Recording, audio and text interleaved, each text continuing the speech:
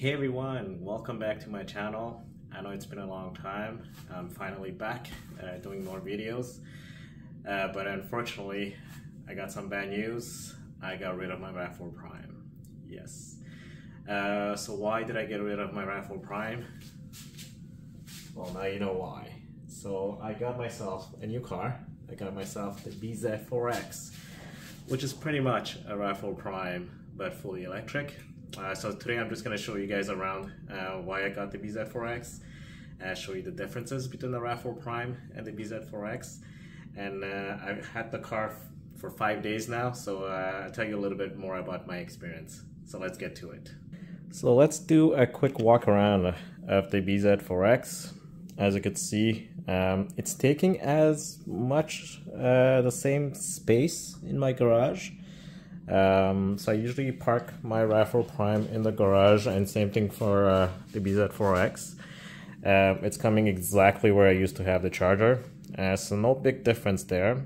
Um, but there is some difference in the cargo space, which is the one thing I'm first going to show you guys. So let's open. First of all, it's much faster than a RAV4 Prime. Uh, if you guys remember my first video, on the RAV4 Prime. I was kind of bothered by how long it took to open the uh, the cargo. So this one's much faster. As you can see, I already put the cargo liner. So this does not come standard with the uh, the BZ4X except on the XLE tech package. Um, so there, there are four packages uh, for the BZ4X. Uh, there's the L, the LE, uh, the XLE, and the XLE with the tech package. So I have the XLE without the tech package. Um, and as you can see, I bought the cargo liner separately and I installed it. So this is pretty much like the new ones from the RAV4 Prime. Um, so the mats are separate. So for the back seat with Velcro, and then you have the uh, this one which is separate. So they're not connected. Uh, they did upgrade the Velcro on these ones because I don't know if you guys have the RAV4 Prime ones. The Velcros were pretty tiny and they were coming off after a year. These ones are much stronger I think they're gonna last longer. As you can see, almost similar spaces for, for just like the RAV4 Prime, uh, but clearly it's slightly smaller because, let me show you, the shape of the BZ4X it's much more pronounced here as in it goes it's steeper here compared to the RAV4 Prime where it continued and went down. So that's why you lose a little bit space at the top but if you're not filling up your cargo space to the max to the brings you should be fine. Uh, just for reference purposes let me just measure this for you guys. I still have one hand here so let me try, try to do this Okay, so I'm going to try to put this here and try to measure this. So it comes up to roughly, yeah, I would say around 3 feet. Max here 37 inches, but that's really the max. And if you want to go this side here, I would take the, the least amount here. Let me try to just, uh, sorry guys. I do have a tripod, but I'm just holding it so you have around 40 inches here. If you go all the way to the edge, which I will try to do here,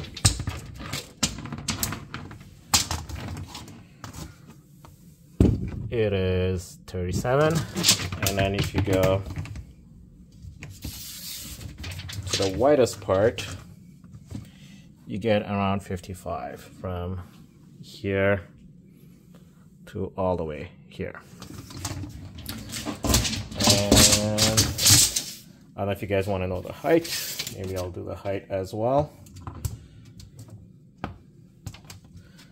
So you get roughly, let me just straighten this up. Yeah, roughly 30 inches here. So it's not a big compromise, but uh, those who do need a lot of space, uh, that might be uh, an issue for you guys. But overall, for all my needs, um, it's enough. It's enough. Uh, the main thing I, I, needed to put in was a stroller. Yeah, by the way, guys, we also had had a baby uh, since my last video. So that's why I was also busy and not uh, been able to make any videos. So now we have a stroller that we need to fit in and it fits in perfectly. And uh, so before going inside, um, I did get a lot of questions. How is it without any rear wiper, which is one other different from uh, the RAV4 Prime. It's amazing, amazingly doing well. Uh, I mean, look at this, guys. I haven't, I've been driving in snow and slush, as you can see the car is, is very dirty. And the windows are barely dirty or they are obviously, but it does not get a, you know, there's no obstruction during winter uh, with this and all thanks to this little spoiler lip, however you want to call it. It literally keeps all the dirt underneath here, and also the form factor of the car makes it in, uh, as such that we don't need a rear wiper. So thumbs up to Toyota on that. I was worried the first few times, and we do get a lot of snow, slush, mud, name it, everything in Montreal, Quebec and this has been cleaned like this and I haven't washed the windows guys. So this is as is and yesterday there was a lot of snow. I think we got around 10 to 15 centimeters and this is the car dirty but the windows are pretty good. I did forget one option uh, which is this one here which is different from the RAV4 Prime. Now they have the option of closing the car I mean the cargo door or you can close and lock the only difference here is this closes right away. This, you actually have to press it and you have to walk away from the car and it will lock. I tried just locking it and just standing beside it. It did not work. So that's a feature that Toyota put in. Um, so right now I'm just gonna close here.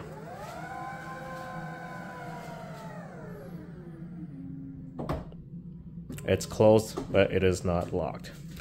And Last thing here, just like the RAV4 Prime here, you have two buttons here.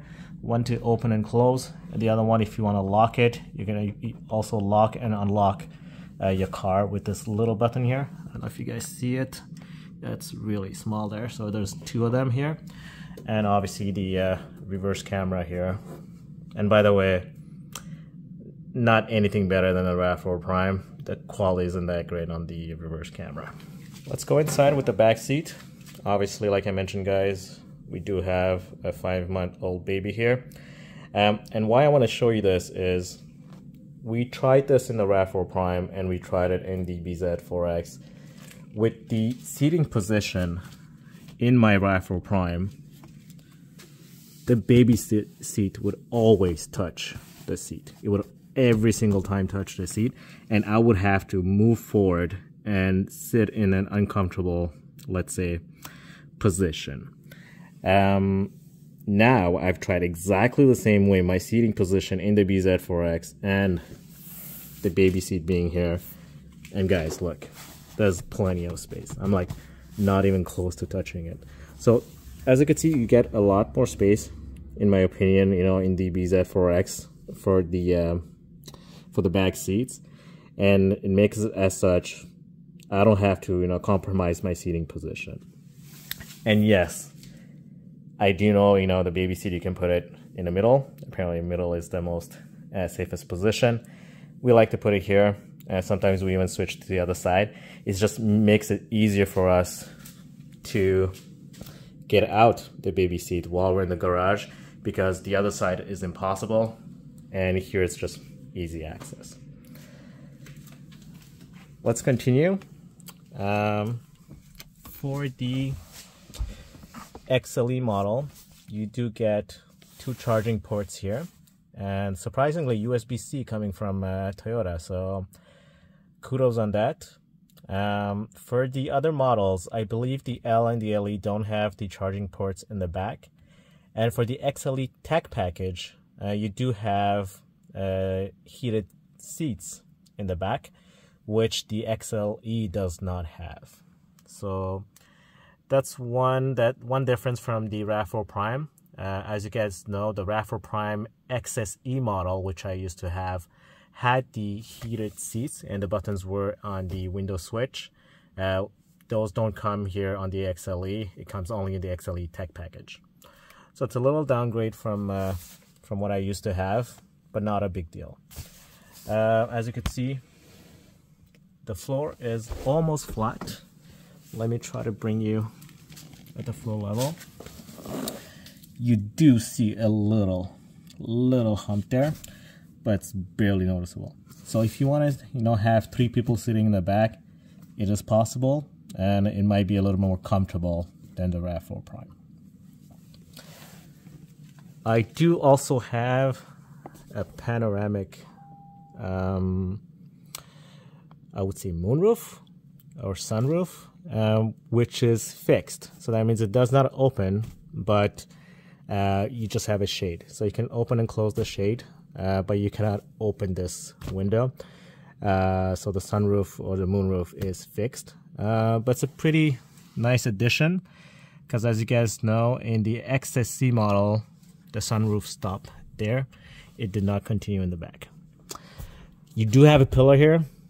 Um, I guess it's for the structural component of the car.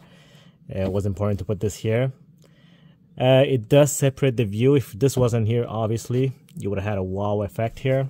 But uh, yeah, it's still nice. And uh, whoever's sitting in the back, you know, they still get a nice view from the back. Uh, the lights, they're all LEDs, guys, so you don't have to change them. Contrary to the RAV4 Prime, where the first versions were not LED, so we had to change the bulbs. So these are nice. They're not the brightest, but they do the job. And as for the window switch, you only have this to open and close the windows and a cup holder here and some storage. Okay, so let's go in the front. So let me start for the driver's side here. Let me just start by telling you guys they made the same mistake as the RAV4 Prime. These buttons do not light up at night. Well, at least only the window of the driver lights up. Nothing else really lights up. Very unfortunate from Toyota. They made exactly the same mistake as the RAV4 Prime which they corrected in the in the uh, following years for the other models of the RAV4 Prime, which is on I think 2022 and 2023. But yeah, um, and I can confirm this is exactly the same window switch from the RAV4 Prime. Uh, it's the same connectors, so I will be changing this going forward because it's just very hard at night to unlock the doors. I and I have to unlock the doors when I reverse uh, to let the passengers out and I struggle most of the time. A lot of you folks are going to tell me, hey, once you start using it, you're going to memorize it, you know exactly where it is. No, that's not the case. It doesn't always always work like that. It's just annoying, and they cheaped out for nothing. Um, and the XSC model, you get the automatic high beam, and to open the uh, the cargo in the back. Uh, you do get in Canada a set of winter tires, no summer tires, surprisingly but I will always uh, I will also be switching these out. Um, as you guys know, I used to have TuxMat before, um, so I will most probably switch to TuxMat. They just don't have the model yet, uh, so I'm just waiting for them to make these so I can buy them. Because obviously these are not high enough. They're not tall enough. They're, they're not gonna cover anything. So I'm pretty sure all this is gonna get dirty. All those part here. So let's go inside. So I do get the wireless charger here. Works better than the RAV4 Prime. The RAV4 Prime, I think it worked one out of 100 time it worked. This one uh, works every single time. No issues charging it. Um, I sometimes do use the cable if you want to charge faster, but this is not the, the best way to charge. The fast chargers are located at the bottom, which let's go there and check them out. So you have two USB-C port. You do have a 12 volt uh, cigarette lighter here, which I use, uh, which I had a charger, so I just brought this in. And this one does power delivery, so that's why if I want to charge faster, I use this one instead. Um, it's much more real, reliable. But if you're going on a long trip or you just want to do a quick charge, uh, this uh, these two uh, work fine. So you do get some sort of cargo space here. Uh, not cargo space, I mean storage space, uh, which is not bad. And why is is it not bad? Is because there is no glove compartment on the passenger side, guys. There's nothing. You cannot open this. And the reason is radiant heating. So this model, well, at least all the BZ4X models are equipped with radiant heating except the base model, which is the L model. And the radiant heating is pretty, well, it's pretty good. Heats up pretty much your legs and like your feet, and it is located here. So for that fact, they did not include a glove compartment. Um, I never, I barely use the glove compartment. I usually put my uh, my manual book sometimes and uh, the lock nuts for the wheels, but except that, I wasn't using it anyways as a driver. It was more my wife who would put some stuff here. Um, so we're not really missing it. Um, as for storage here, we also have the cup holders and a little storage here. I guess you can put your phone if you want, a secondary phone. And you also have uh, some space here. Sorry for the mess, guys. Uh, doesn't go that deep, but you can remove this compartment and it goes a little deeper. So yeah, that's pretty much it. Uh, let's, uh, oh yeah, and for the rear view mirror, for the XLE model, we do get the HomeLink. So I'm used to the HomeLink, even in my RAV4 Prime. So we have the HomeLink here, and we also have the uh, the dimming functionality, which is uh, which is pretty good. And we have also all the functions here for the door, the lights, to open the uh, well, close the shade and open the shade for the uh, the moonroof. And these do light up at night, guys. So thumbs up to Toyota for actually thinking about this. So let's start the car and I'll show you the uh, infotainment system. So this is how the car starts. Even recognizes your profile here. So that's really good. So when it recognizes your profile because you can link your profile to your key. Uh, so you have a set of keys and you can link one for your partner, one for yourself, and the vehicle knows all the different uh, the settings. Um, so this is what you're greeted with. So pretty much you have uh, some sort of information on your range. Um, Toyota still does not show the percentage. Uh, they only show the, it's called a guessometer. So they guess the range that's left on your car. So right now I'm around 220 kilometers without any climate control on and while being in a heated garage. Let's say I do turn on the heating here. Let's say I put auto. I'm at 21. There you go. I'm at 169 kilometers. So, and let me just turn it back off. 219. So Toyota's coming up with an update which will be more precise because it's taking way too much, you know, from the uh, the meter, um, the range because of the climate control, and they're also going to decrease the buffer that they have because they put a big buffer as a reserve in case the you know you're at zero percent and you still need to go to a charger. So a lot of new updates coming in. Um, you do ha have all the other functions here, uh, like the RAV4 Prime when you you know put power when you're charging, um, and you also have all the different options here. So your trip, how much you're consuming here. Um, you have the adaptive cruise control, uh, the all-wheel drive system here. Uh, by the way, TPMS is included in Canada. So finally, so I remember in the RAV4 Prime it was not included. And yes, I know, guys, my tires are, I'm pretty sure they're like, the pressure is way too high on the front ones. I still haven't checked that. I got the car not long ago from the dealer, so I'll have to um, recheck that. Uh, yeah, so this is about your trip. um, you have all the different settings for the Toyota Safety Sense 3. And by the way, guys, I just want to show you one thing. RSA is now available in Canada. So that's roadside road sign assist. So that means here at this spot, every time you pass by a road sign, let's say maximum 50 kilometers, a stop sign, it will show up here. It's not 100% accurate, but it does the job. So that's really good. So you don't have to depend on Google Maps or Waze. Uh, in the in the event you have you don't really know how, what's the speed limit. Um, most of the time the RSA will show up here with your speed limit. It even shows you when you go overboard, uh, so you can actually put how much. Uh, what's the notification met method? Do you want the uh, if you're two kilometers over the speed limit, five, ten kilometers? Uh, so I just left it at the default at two. Um, I'm not gonna go in all the options, but uh, just to show you really fast um, where the menus here. And if you don't want to see all this, you just go back to the regular menu here. Um, yeah, so that's about it.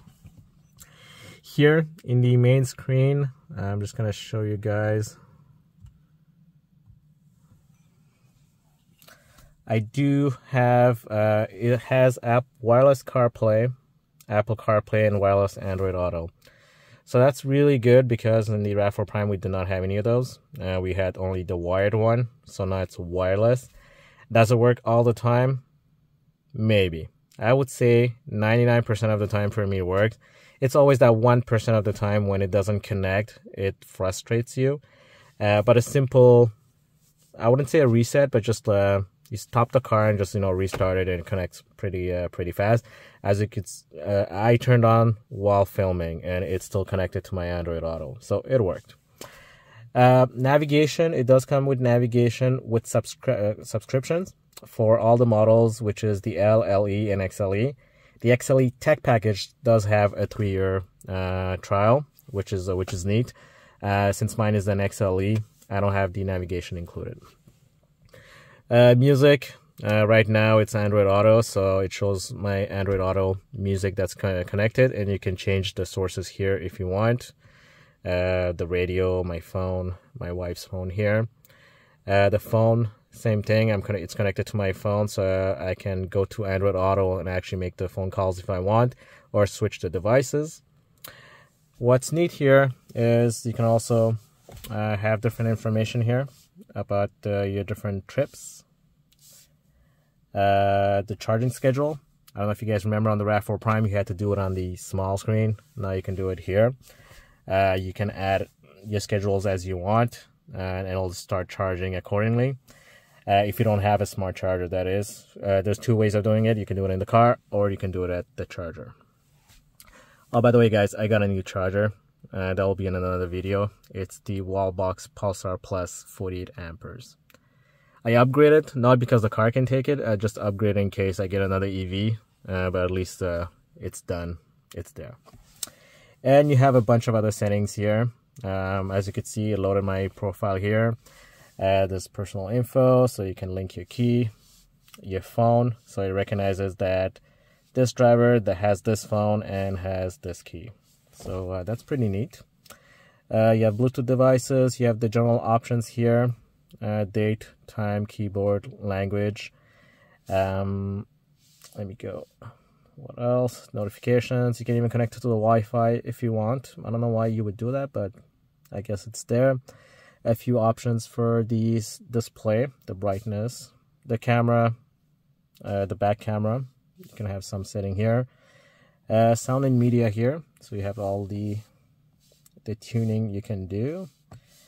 And software update, guys. This is pretty neat. It's the first car, I believe, for Toyota that has OTA. So over the air updates. So Toyota has the possibility of updating the car without you having to go to the dealer.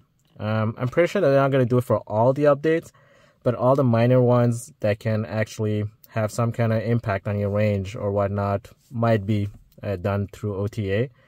Um, so that's that's pretty neat, and that's the first ones I think um, the first car that actually is getting the OTA update.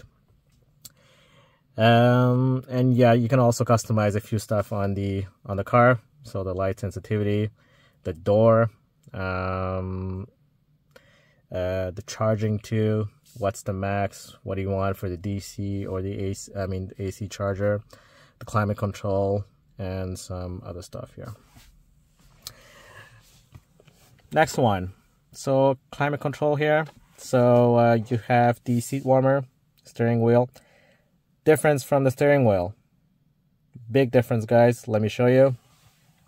Remember on the RAV4 Prime where it was only heating here and here? Well, guess what? Now everything is heated up. So thank you, Toyota, and for not chipping out on that. So the whole steering wheel heats up. So thank you. Um, then you have the radiant heating, like I showed you guys. So the radiant heating is heating that is done underneath the steering wheel here. So this is the, the radiant heating. Heats up your feet, your leg. Um, it's pretty warm, guys. It's very efficient too. So um, I really appreciate this uh, this option. And you have it, once you press it, you have three levels. And same thing for the uh, passenger side. Uh, then you have let me just put it here so I can show you guys. So if I press auto, you have the temperature control that's done here. So uh, going up and down, you have the different options here. If you want, you know, if you want higher, lower, if you want, you know, the windows, your feet, your face, everything. So all the options are here. I usually leave it at auto 21 and I sync it for uh, for everyone. Uh, same options as the RAV4 Prime. Uh, you have the option of closing the vents in the back if you have no passengers. So this is very good because since it's an electric car, you want to be the most efficient possible. So if you have no passengers in the back, might as well just block the vents and get all the hot air in the front. So I tend to do that when I travel alone. Um, and the rest is pretty much like any other car. Um, oh yeah, and I do use eco sometimes, but when it's cold, I usually turn it off so I just get the heat as much as possible and here is the for the rear windshield and the side mirrors to be heated. So the side mirrors are heated. Uh, this is for the front. And we also have the um, the wipers de-icer. So at the bottom of the windshield here uh, you have little strips that heats up if in, in the event where your wipers are frozen and they have ice. So this does help in uh, winter. Uh, they don't have a volume knob but they do have buttons here, which is not bad. You know, it's uh, it's a compromise here, and um, you can turn off the uh, infotainment. Uh, I mean the the music here just by pressing power, and then you can actually uh, put the volume up and down. As for the driving, um, you have your parking brakes. You have your hold feature, which is when you stop at a red light, um, the car, you know, uh, brakes and you don't have to keep pressing the brakes. So that's uh, that's uh, that's neat. This is the regen boost. Uh, it's almost one pedal driving. Uh, if you guys know for uh, electric vehicles you know most cars comes with one pedal driving. This is as close as you're gonna get for one pedal driving. It doesn't fully stop the car but it brings it to a very low speed. Then afterwards you can just press the brakes and it stops so I enjoy driving with this. It's much easier. Uh, but there are some, it doesn't work all the time.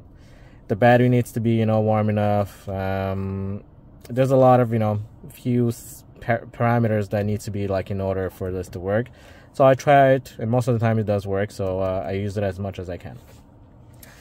Eco mode for the driving. Um, this does save a little bit of range. Uh, it doesn't let you go crazy on the pedal. Uh, I barely use it sometimes. If I'm doing long trips, I would use it, but uh, otherwise in the city drive, I would not.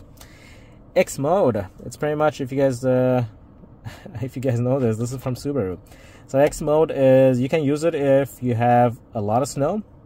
Uh, and you let's say you know you have to drive very slowly but you know uh, there's a lot of snow you want to get out from like you know from a parking lot that has a lot of snow this is you can use this. So once you press X mode I'm just gonna press and you'll see the difference here.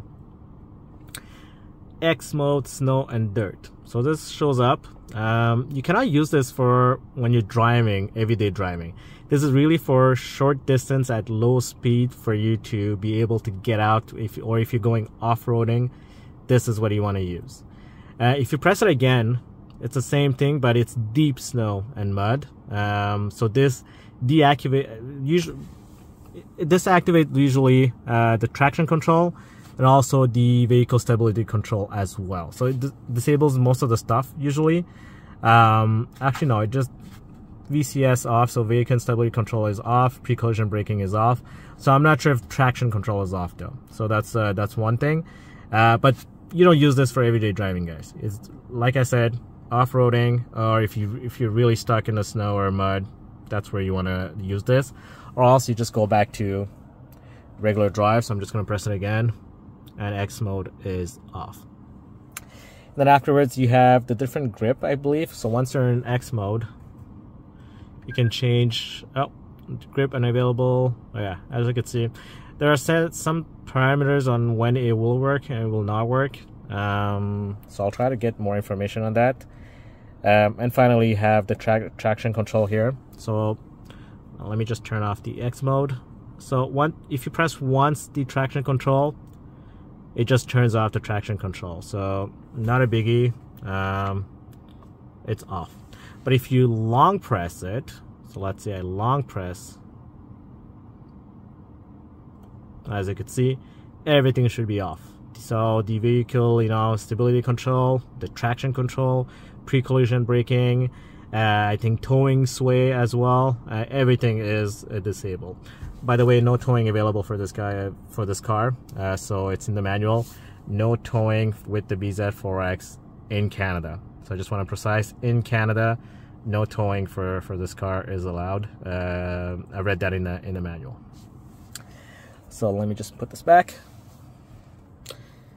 So I think I got everything. Let's just go through the steering wheel. Steering wheel, um, a little different. If you guys saw, there was a yoke version, but this one isn't the yoke version. In Canada, we just get the, the standard one. Uh, the different options for uh, speech control, so you can turn on your Google Assistant or your uh, Siri uh, if you have Android Auto or CarPlay connected by long pressing this. Volume, different options you can use for the for the display there. Um, phone call and everything related to your adaptive cruise control. Uh, it's here, and this is your source for the audio, and this is for you to navigate between the between screens there. And for those wondering is my steering wheel blocking my view? I would say for short people it might be. Um, I think I'm five foot seven, um, and I've adjusted my seat accordingly, and I don't have any issues. So I don't suggest you guys look through here. That's really bad. It doesn't really work. It's more position your steering wheel for you to have a better view here, and this adjust the steering wheel adjusts pretty well. The adjustments can like vary so much, so you have ample space and configurations for you to put it in a way that will suit your driving. Um, it took me some time to find the sweet spot, uh, but once I did, I have no issues seeing the the main screen. Um, and yeah, that's about it. Let me. Uh, I'm just gonna show you guys the the front and the um, and also open the the hood for you guys. So at the front, let's start with the side mirrors. No LED signal turning lights here. So as you guys know in the RAV4 Prime, that's what's standard I think on all the models. This one does not have anything at all. Very disappointing on this model. Not even on the tech package, I believe. Uh, they did add a puddle light right here so there's a little light here when uh, it's dark and you come close to the car. You have a small puddle light. Eh, it's it's okay, but uh, I would have preferred some uh, some mirror lights here. Uh, I, I find it safer. People tend to see more the fact that you know your your signal lights are on and they can see it on their blind spot versus just having them in the front.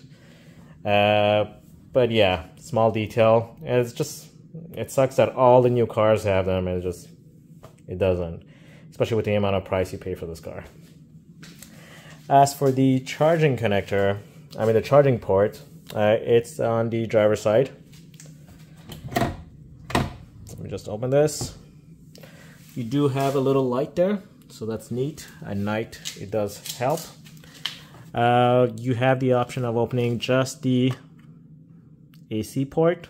So this is for level 2. Or you have the DC fast charging. So um, better than the RAV4 Prime. RAV4 Prime, I don't know if you guys remember, was a little cable, just like a gas tank. And you just take out the cover and you would like clip it on the side here. Uh, this one is integrated to the actual system here. Um, which is one thing which is neat is you can close just the DC if you want, but obviously you cannot use the DC without the top part. And when you close, both actually close. Small detail, but I think it's uh, it's pretty neat. And if you want to open just the DC, doesn't work. So you, still have to open this and then after open this one. Uh, by the way, guys, same charging speeds as the RAV4 Prime.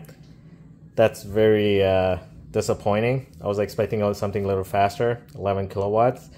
Uh, this has the 6.6 kilowatt uh, that comes standard for the RAV4 Prime. I just want to clarify that. In Canada, all the RAV4 Primes come with the 6.6 kilowatt guys. In the US, it was different. It was 3.3 and 6.6, but Canada always had the 6.6. So same thing for the BZ4X, it is 6.6 uh, that comes. Toyota did announce having 11 kilowatt coming in, but I believe that those are going to be the uh, 2024 models. Um, and why do I like six? I mean, 11 kilowatt versus 6.6? It's sometimes you you do need to charge faster. Uh, let's say you're going to someone's house or you're traveling, and you're staying over at relative's house, and they only have a level two. Yeah, okay, and you have to leave quickly, and you've just got there. So it's just easier to have a faster charger um, on the car. Um, although you might not be using it every time, it's just there and it's convenient. Toyota chose not to put it, and uh, I respect that. But I think um, it's gonna fit for a lot of people. 6.6 will be fine, but just would have been nice to put the uh, the extra one. I believe the Ioniq 5, the other cars did choose um, go towards the 11 kilowatts, so it's just unfortunate that Toyota didn't. Uh, so the front, the XLE gets uh, the LED lights. So everything's LED, guys. You don't have to change anything. Uh, the XLE tech package uh, comes with the matrix light. So you have different LEDs. This one is just a single one. Uh, still good, uh, good performance for the lights. I did get, by the way, guys, the two-tone car. So that means it's the heavy metal color with two tones. That, that means the um, the roof of the car uh, is um, is black, and this is black but painted black. As you can see, it's not the matte color. So in Canada, if you get the two-tone color, your roof and your uh, fenders will be painted, which is really good. But guess what's not painted? The hood. The black part of the hood is not painted if you get the XLE package or the sides here. The sides there, they are more brown, but they're supposed to be black, by the way. As you can see, there's a lot of dirt here, by the way, guys. So this gets very dirty. So this is black matte, so not painted. Unfortunate because we do pay for the paint, you know, for the two-tone, but they decided not to paint this. Uh, this gets painted standard on the XLE tech package. So for someone who wants the roof, the hood, and the fenders painted like this, you need to get the XLE two-tone package.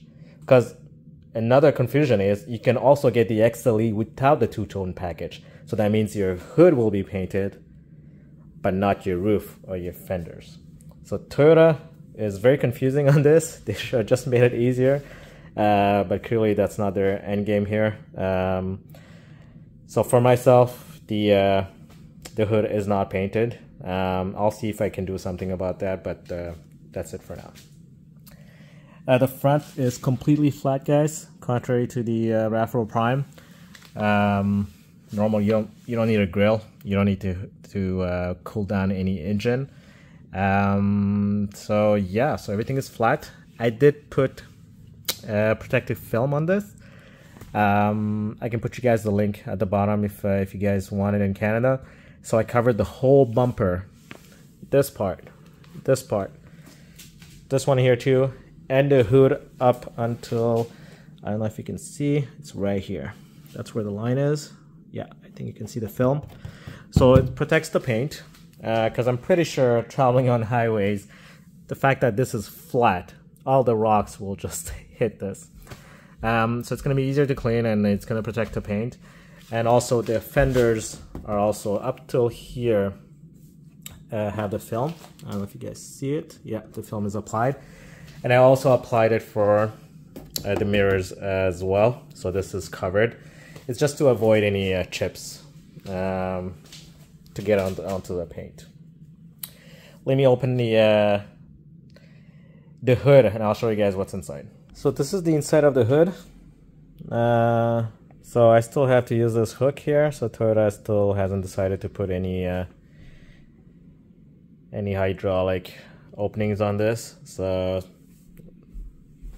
just like the old ways, just put your hook there and it's it's standing. Uh, interior is much cleaner than my exterior. Obviously, guys, this is very clean. I just got the car not, not long ago. The only issue I I was, you know, I was afraid of is all the dirt going inside here because the way it was designed, uh, there's a little gap here.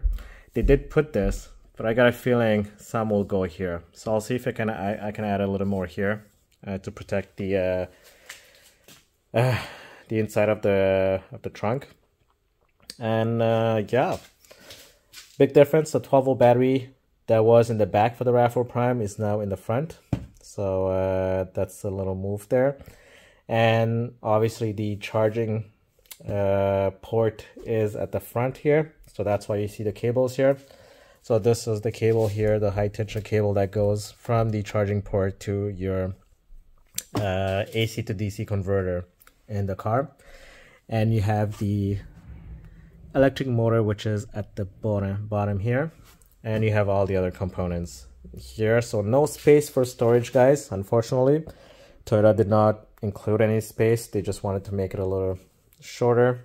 Um, they did a good job. So uh, I'll cover this in the next video.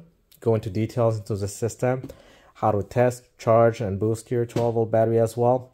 Because these batteries are very small, guys. I'm just gonna show you. Yeah. This is nothing. This is a very small battery, guys.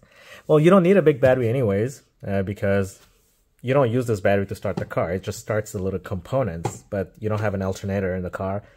You have nothing that requires a big battery. But these batteries are so fragile that sometimes they just die and you have to boost them.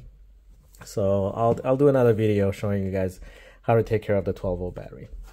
That's it folks. I hope you liked the video. Uh, I try to give you guys as much details as I can.